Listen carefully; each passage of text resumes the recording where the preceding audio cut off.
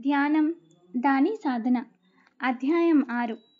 మనం ప్రాపంచిక విషయాలలో భావోద్వేగమైన మమకారం పెంచుకుని మనకున్న ఎంతో శక్తిని బయట పెట్టలేకపోతే అప్పుడు జీవితం అసంపూర్ణంగా ఉండి మనకి సంతోషం లేకుండా తృప్తి లేకుండా ఉంటుందని నేను నమ్ముతాను. అందుకు శరీరాన్ని శ్వాసని ఇంద్రియాల్ని బుద్ధిని ఆరోగ్య సాధనాలుగా చేయడానికి మనం ప్రస్తుతం మనకున్న అన్ని తెలివితేటల్ని ఉపయోగించాలి. అప్పుడు సాధన సులభం అవుతుంది. శరీరం ఎంతో నిశ్చలంగా ప్రశాంతంగా అయి కదలకుండా ఊగకుండా వణకకుండా లేక లాగకుండా ఉండే ధ్యాన స్థితిని మీరు ఎప్పుడు పొందుతారో అప్పుడు ప్రాపంచిక అనుభవాల ద్వారా పొందిన సంతోషానికి భిన్నమైన ఒక అసాధారణమైన సంతోషాన్ని పొందుతారు. అప్పుడు మీరు మీ శ్వాసని గమనించడం ప్రారంభించి ధ్యానంలోని త్వర తర్వాత దశలోనికి వెళ్ళగలుగుతారు. ధ్యానానికి శ్వాస చైతన్య సాధన చాలా శక్తివంతమైనదని గుర్తుంచుకోండి. ముందు చర్చించిన నాలుగు సాధారణమైన లోపాలు కదలడం బలహీనంగా ఉండడం శబ్దం రావడం లేక ఎక్కడా విరామం ఇవ్వడం. లాంటి సమస్య ఏదైనా ఉందేమో చూడడానికి మీ శ్వాసని పరిశీలించండి. మీ శ్వాస మృదువుగా ఉండడానికి మీ తల మెడ సమానంగా ఉండి శరీరం నిశ్చలంగా ఉండాలి. రెండవ నెల సాధన. రెండవ నెలలో మీ సాధనని దిగో చెప్పిన విధంగా కొనసాగించుకోవచ్చు. మీరు శరీరాన్ని చాచి వంగడానికి వీలైన వ్యాయామాల్ని చేసిన తర్వాత శ్వాస సాధనలని చేయవచ్చు. కండరాలన్నింటినీ రిలాక్స్ చేయడానికి శారీరక వ్యాయామాలు ఉపయోగపడతాయి. కానీ సూక్ష్మ కండరాలలో నాడీ మండలంలో ఇంకా ఎక్కువ రిలాక్సేషన్ని కలిగించుకోవడానికి శ్వాస సాధనలు ఇంకా ఎక్కువ ఉపయోగపడతాయి.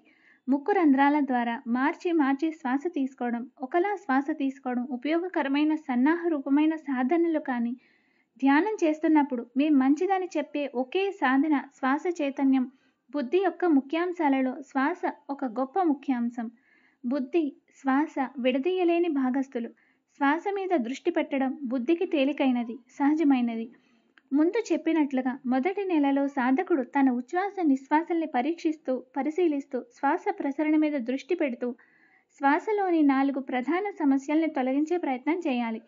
తర్వాత చేసే శ్వాస సాధనలో కింద వివరించిన సాధన మీద బుద్ధిని జాగ్రత్తగా కేంద్రీకరించాలి. Exercise two. ఇది ఒక సంతోషకరమైన అనుభవం అవుతుంది. కానీ ఈ శ్వాస పద్ధతిలోని ఆ అంతరానందం నుండి మీ శరీరం మిమ్మల్ని భంగపరచకుండా మీరు మొదట మీ భంగిమని స్థిరంగా నిశ్చలంగా సౌకర్యంగా చేయడం తెలుసుకున్నప్పుడే ఈ సంతోష స్థితి అనుభవాన్ని పొందుతారని గుర్తుంచుకోండి. ఈ ప్రత్యేకమైన సాధన సూక్ష్మమైనది. మీరు పొందిన ఇతర శ్వా శ్వాస అనుభవాల కన్నా ఇది ఎక్కువ పురోగతి చెందిన శుద్ధ శుద్ధమైన సాధన. ఇది ఎంతోమంది ఋషులు గురువుల చేత కొన్ని వేల సంవత్సరాల పరిశోధన చేయడానికి కేంద్రమైంది.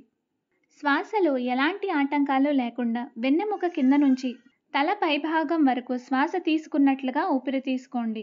తలపై నుంచి వెన్నెముక కింద భాగం దాకా ఊపిరి వదిలినట్లు ఊపిరి వదలండి. వెన్నెముకలో ఉన్న మూడు దారాల వంటి వాటిని మానసికంగా చూడగలిగితే అది సహాయపడుతుంది. మధ్యలో శరీర విజ్ఞాన శాస్త్రజ్ఞులు సెంట్రలిస్ కెన కెనాలిస్ అనే మార్గం పక్కన యోగులు ఇదా పింగళ అనే సూక్ష్మమైన మార్గాలు ఉన్నాయి. అవి ముందు చెప్పిన రెండు ప్రధానమైన నాడులు ఇవే. పాలలాగా ఎంతో తెల్లగా ఉండి సెంట్రలిస్ కెనాలిస్ ట్యూబ్ ద్వారా ఉచ్ఛ్వాస నిశ్వాసల్ని చేయండి. మెదడు దిగువ భాగానికి పెల్విక్ ప్లెక్సస్ కడుపుకి సంబంధించిన లేక శరీరం అంతా వ్యాపించిన నరాలకి మధ్య ప్రసరించే శక్తి శక్తి యొక్క సూక్ష్మగతి అనుభూతిని పొందండి.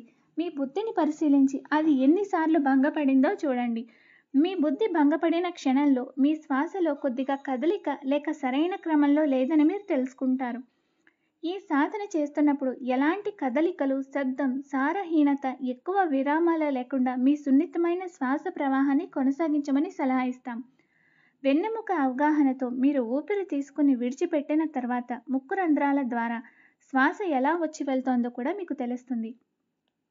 ఒక ముక్కు రంధ్రం మూసుకున్నట్లుగా ఇంకొకటి ఎక్కువ తెరుచుకున్నట్లుగా బహుశా మీరు గమనిస్తారు.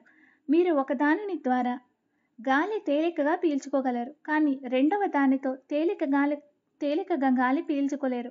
అలాంటప్పుడు అడ్డుకున్న ముక్కు రంధ్రం మీద దృష్టి పెట్టండి.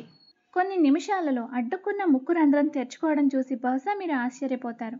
ఉదాహరణకు మీరు మొదటి కుడి ముక్కు రంధ్రం మీద దృష్టి పెట్టండి. అది తెరుచుకుని దాని ద్వారా గాలి పీల్చుకోవడం తేలికైనప్పుడు ఒకదాని తర్వాత ఇంకొకటి తెరవగలగడానికి ఇంకొక ముక్కు రంధ్రం మీద దృష్టి పెట్టండి. దీన్ని మీరు క్రమబద్ధంగా సాధన చేస్తే శ్వాస ప్రవాహం మీద నియంత్రణ పెంపొందించుకోవడానికి ఎక్కువ సమయం పట్టదు. శ్వాస బుద్ధి జీవితం యొక్క రెండు నియమాలు. అవి రెండు ఒకదానితో ఇంకొకటి సన్నిహితంగా ఉండి ఒకదానితో ఒకటి తేలికగా ప్రభావింపబడతాయి. వాటిని వేరైన ఉనికి ఉన్నప్పటికీ ఒకదాని శక్తిని ఇంకొకటి గుర్తుపెట్టుకుంటాయి మీ బుద్ధి మీద దృష్టి పెట్టడం ద్వారా మీ శ్వాసని మీ ఇష్ట ప్రకారం నిర్దేశించగలగడం తెలుసుకునే ప్రయత్నం చేయండి. మీ ఆలోచనలు మారిన క్షణంలో మీ శ్వాస కూడా మారుతున్నట్లు తెలుసుకుంటారు. రెండు ముక్కు రంధ్రాలకి సంబంధించిన విద్యుత్ శక్తి లాంటి సూక్ష్మ శక్తుల్ని పరిశోధించిన తర్వాత శ్వాస యొక్క ఈ రెండు అవస్థలలో భిన్నమైన గుణాలున్నాయని ఋషులు తెలుసుకున్నారు. ఎడమ రంధ్రం ద్వారా శ్వాస తీసుకుంటే అది చల్లదనాన్ని కుడి రంధ్రం ద్వారా శ్వాస తీసుకుంటే అది వెచ్చదనాన్ని కలగజేస్తుంది.